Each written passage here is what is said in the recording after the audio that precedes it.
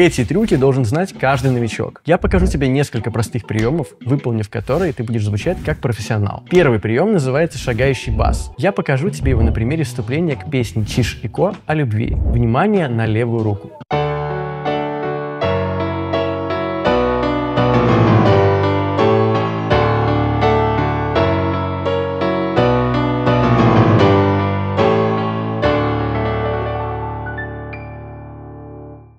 Обычно, когда мы исполняем аккорды в песне, то в басу нажимаем только основной звук. Например, для аккорда BM это будет звук B или C. Но аккорды в песне не существуют по отдельности друг от друга. Они работают на аранжировку вместе и создают тягучее, густое музыкальное одеяло для мелодии. И чтобы это одеяло было еще протяжнее и плавнее, аккорды в песне можно соединять левой рукой. Давай посмотрим как. Соединять мы будем аккорды BM и G. BM это минорный аккорд, а G мажорный. Если что, аккорды мы строим вот так. Находим первую букву в аккорде. В аккорде BM это буква B. И если нам нужно построить мажорный аккорд, то есть без буквы M, нужно использовать схему 4 плюс 3. Смотри внимательно. Находим ноту B или C и отстраиваем в нее 4 полутона. Раз, два, три, четыре. И затем раз, два, три. Получаем мажорный аккорд B. Ну а если аккорд минорный, то схема будет 3 плюс 4. Смотри. Также строим от B. Раз, два, три. Раз, два, три, четыре. Итак, чтобы соединить аккорд BM и аккорд G, нам нужно заполнить пространство между ними еще одним басом. Бас — это партия левой руки. Смотри. BM, и дальше мы прыгаем на через одну клавишу влево. Соответственно, самый простой вариант, когда мы переходим, мы нашим басом соединяем вот этот переход. То есть, что я сделал? Я просто добавил ноту А, бас А, в левую руку.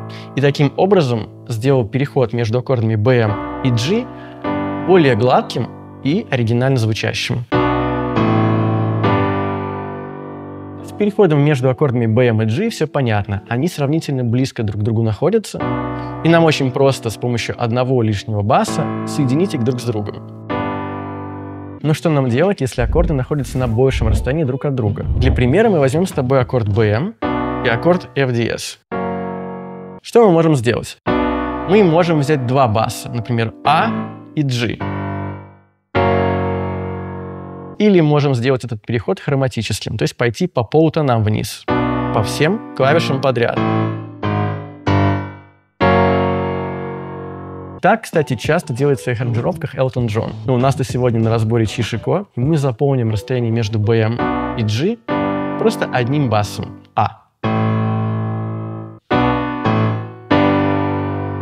Но помните, не нужно пытаться соединять каждый аккорд в цепочке. Порой это может быть слишком. Обычно хватает добавить шагающий бас после третьего аккорда в цепочке. Но я рекомендую тебе импровизировать и искать свое фирменное звучание. Именно так делают профессионалы. Вообще количество подобных приемов в твоем арсенале определяет богатство звучания твоего исполнения. И более 40 подобных приемов я разбираю на своем курсе. Переходи по ссылке в описании к этому видео и скачивай бесплатно 5 уроков моей программы «Фортепиано свободно навсегда». На программе уже учатся более 4000 студентов студентов. Даже если ты абсолютный новичок, ты подберешь три мелодии на слух самостоятельно, сыграешь свою первую авторскую мелодию, а также освоишь основы музыкальной грамоты. Ну и вернемся к Чишико. Во вступлении песни о любви есть еще два интересных приема, на которые не обращают внимания новички, но которые делают игру более фирменной и профессиональной. Вот как играют обычно новички. Выучили схему построения мажорного или минорного трезвучия? И звучит оно примерно вот так.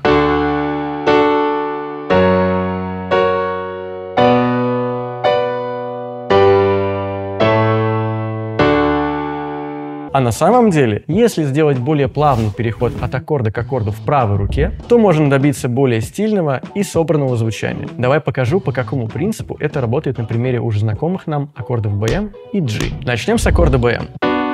Итак, чтобы сделать первое вращение, нужно перенести наш бас, то есть первый звук аккорда, наверх, то есть направо. И мы переносим наш звук B или C на октаву выше и получаем первое обращение. Чтобы сделать второе обращение, нужно перенести вновь наш самый первый звук, на этот раз звук D или Ре, на октаву выше, вот сюда.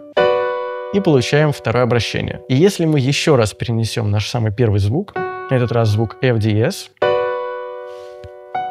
мы получим три звучия. Давай закрепим этот принцип на аккорде G.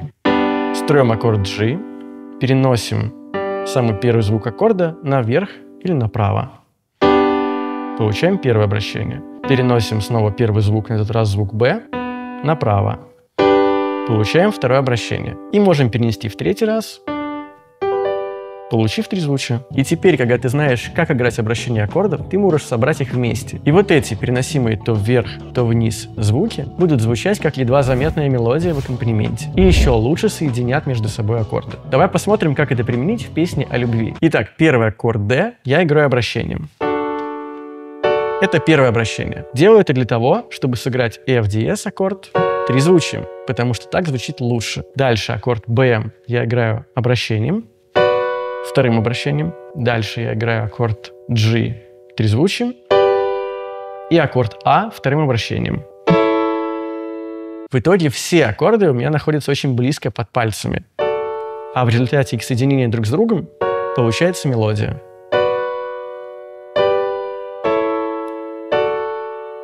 Лучше всего этот прием подходит для куплетов, ведь там голосу солиста нужно дать больше места и внимания в аранжировке. А в моментах, где фортепиано солирует, наоборот можно играть пошире, но при этом тоже использовать обращение аккордов.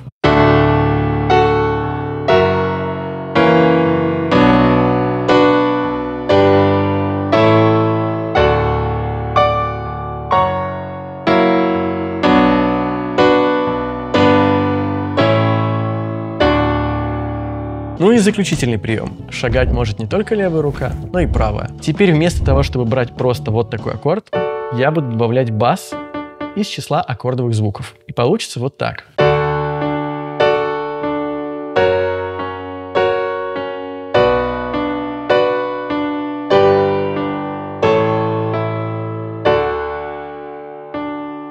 Обрати внимание, что для того, чтобы красиво сыграть этот прием, тебе тоже нужны будут обращения. Смотри, первое обращение D, потом три звучия F диез, второе обращение BM, три звучия G, дальше второе обращение А и первое обращение D. А как же я выбираю вот эту дополнительную аккордовую ноту под большим пальцем? Я строю аккорд и просто беру ту ноту, которая ближе из числа аккордовых звуков. В первом обращении D ближе будет D, в трезвучии F диез ближе будет аккордовая нота C диез.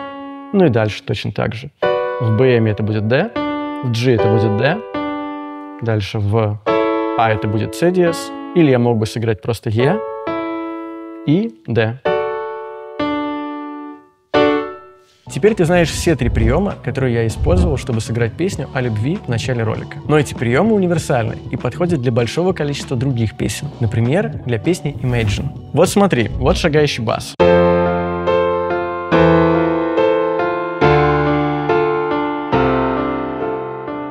Ну а в правой руке, я думаю, ты заметил, что я использовал прием с добавлением аккордовой ноты.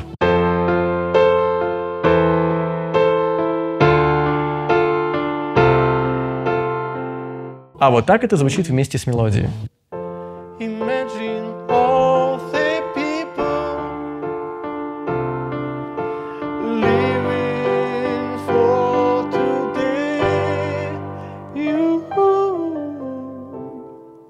Если в процессе разбора ты почувствовал, что не все получается сразу и гладко, не переживай. Во-первых, тебе нужно постоянно тренироваться и разрабатывать мышечную память. Ну а во-вторых, по ссылке в описании я оставил для тебя три бесплатных занятия, которые помогут тебе продвинуться в изучении этого и других приемов на нашем канале. Напиши в комментариях, какие приемы ты еще знаешь и сколько времени у тебя заняли эти трюки. Подписка и лайк приветствуются.